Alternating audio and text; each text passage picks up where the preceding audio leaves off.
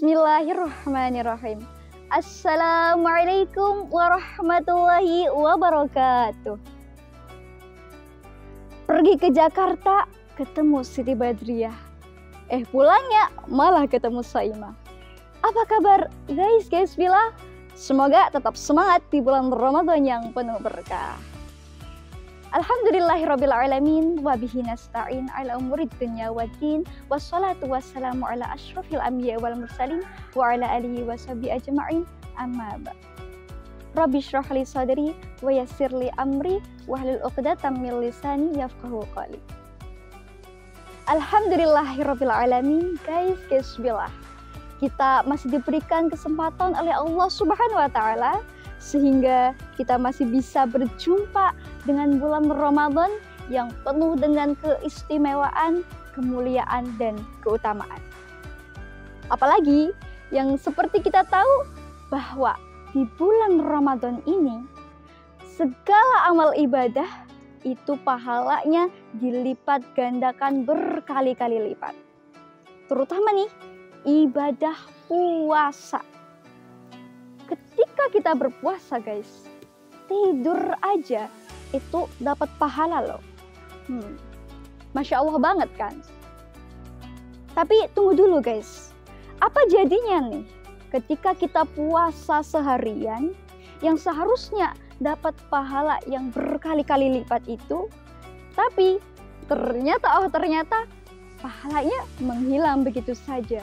Hmm, seperti cintanya. Aduh sakit hati kan nah maka dari itu guys guys bilah sebenarnya itu bisa terjadi karena perkara-perkara yang kita lakukan yang bisa merusak pahala ibadah puasa kita. Apa saja itu?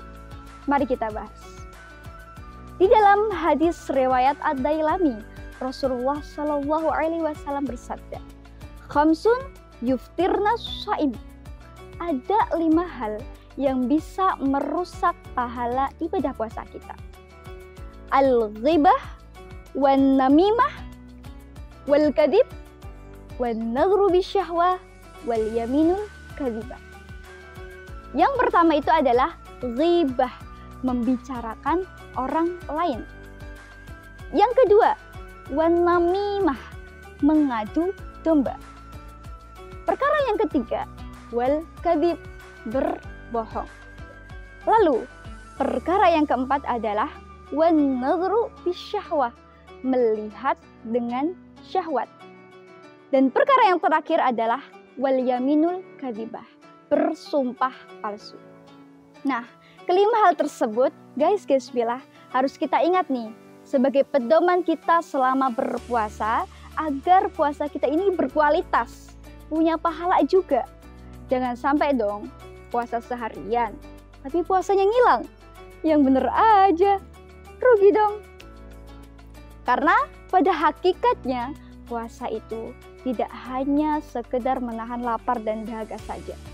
Tapi lebih dari itu, puasa adalah tempat kita untuk melatih diri menjaga pikiran, hati, pandangan, dan lisan. Nah, semoga ilmu-ilmu yang tadi saya sampaikan bisa memberikan manfaat bagi kita semua khususnya di bulan Ramadan ini. Kurang lebihnya mohon maaf. Sebelumnya ada pantun. Pagi-pagi makan keripik, minumnya teh campur es batu. Wallahul muwaffiq ila aqwamit thoriq. Wassalamualaikum warahmatullahi wabarakatuh.